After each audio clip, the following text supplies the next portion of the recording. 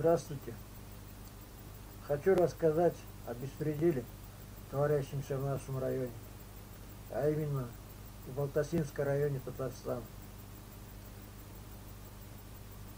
В нашем районе чиновникам и правоохранителям даны полномочия распоряжаться судьбами людей.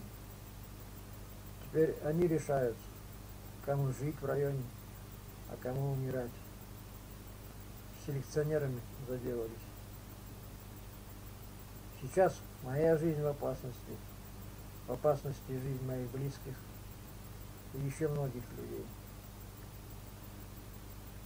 Не знаю, как в других районах Татарстана, в нашем, в нашем районе существует черный список, составленный чиновниками района. О том, что он есть, говорят сами чиновники. Ну, например, такой, как руководитель исполкома Шакиров. Попавшие в этот список люди будут ущемляться в своих правах, будут подвергаться всякой, всяческой дискриминации. Ну, каким именно это все зависит от настроения чиновников района, возомнивших себя богами. Ну, например, я и моя бабушка попали, попав, попав в этот список, мы лишились права на защиту своей жизни. Мы лишились права на получение медицинской помощи. То есть мы практически лишились права на жизнь.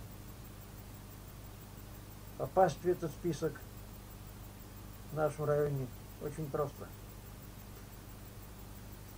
Ну, например, опять же, я и моя бабушка, мы попали в этот список всего лишь попросив прокурора республики наказать одного из чиновников района за хищение государственных средств.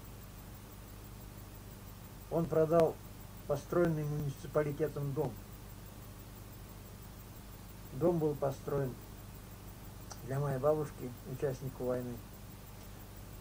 Она нуждалась в жилье, потому что ее деревня, в которой она проживала, вымерла.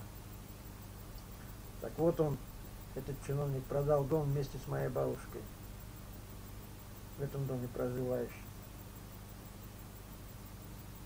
Подробнее об этом вы можете узнать в описании к видео. Прокурор республики в отношении чиновника, конечно же, ничего не предпринял.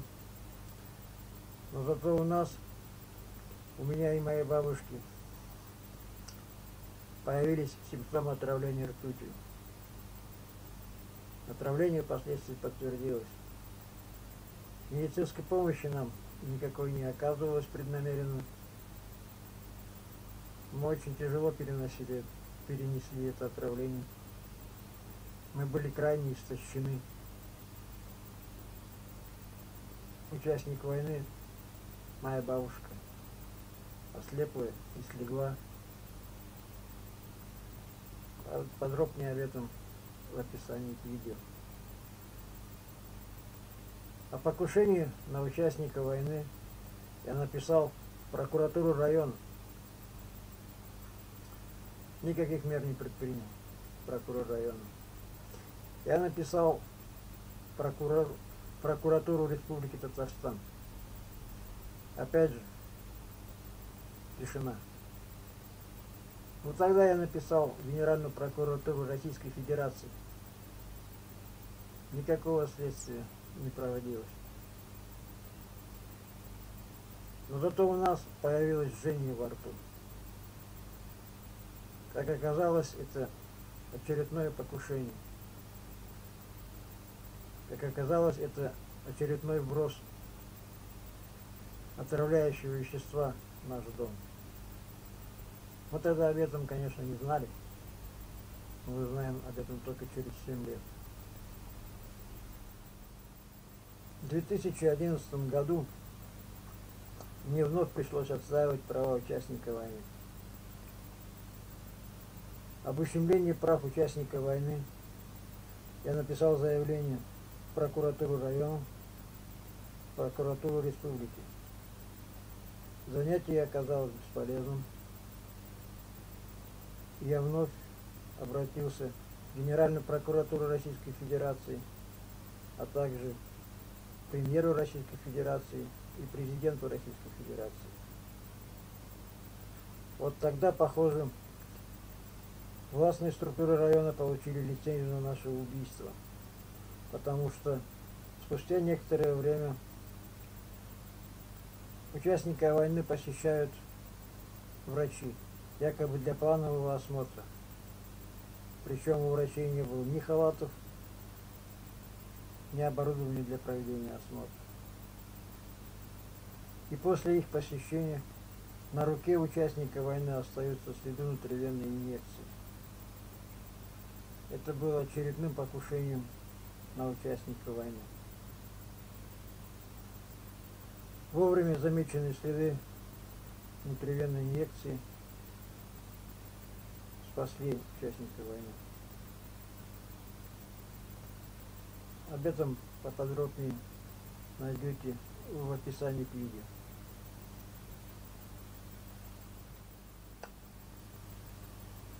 Об очередном покушении на участника войны, совершенного врачами-киллерами, я сообщил в районную прокуратуру, прокуратуру республики, Генеральную прокуратуру Российской Федерации, уполномоченную по правам человека Российской Федерации.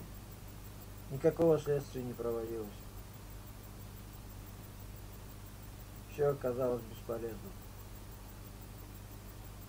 Ну вот так вот мы и продолжали жить, если это так можно назвать беспрерывно болели. Я многократно обращался с просьбой о предоставлении медицинской квалифицированной помощи в районную больницу, в республиканскую клиническую больницу, Министерство здравоохранения Республики Татарстан, Министерство здравоохранения Российской Федерации – Министерство социальной защиты Республики Татарстан. Все оказалось бесполезным.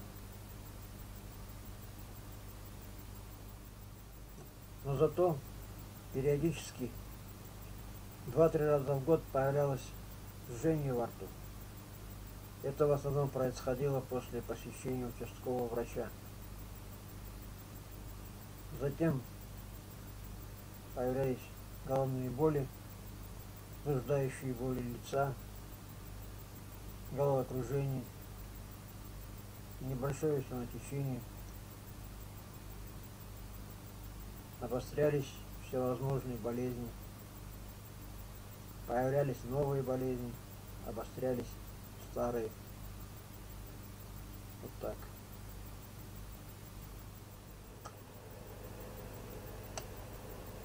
В ноябре 2017 года у моей бабушки загноился большой палец ноги. Я вызвал участковых врачей. Они назначили лечение на дому. А вот после их ухода вновь появилось жжение во рту. Медицинские работники своим лечением довели гнойную рану до предгангренного состояния.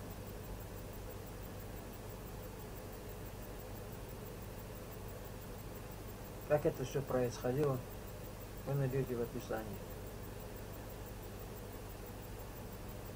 Вот в январе 2017 года моя бабушка умерла.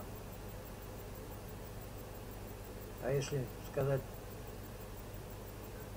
точнее, назвать вещи своими именами, она погибла. О проведении следствия и привлечении к ответственности виновных в смерти моей бабушки. Я обратился с заявлением в районный отдел полиции.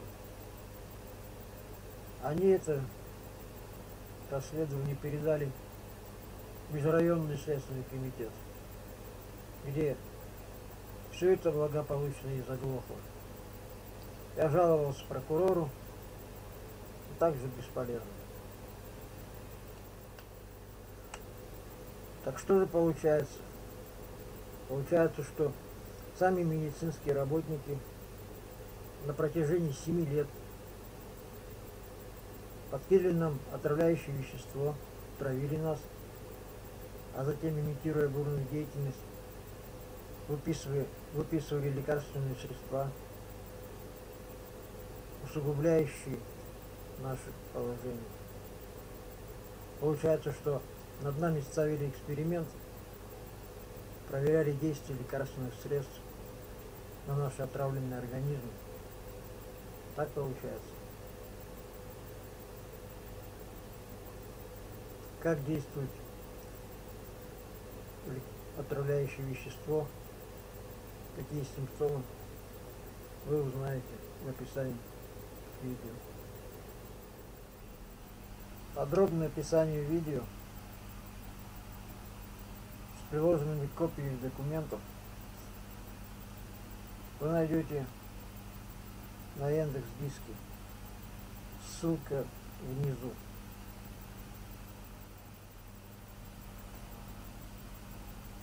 Прошу всех, кто посмотрел этот ролик, максимально перепустить его. Пусть как можно больше людей узнает о том, как властные структуры Татарстана избавляются от неугодных им людей. Помогите мне, пожалуйста. Помогите мне и моим близким. Иначе их не остановить. Они не успокоятся, пока не уничтожат меня. Спасибо всем.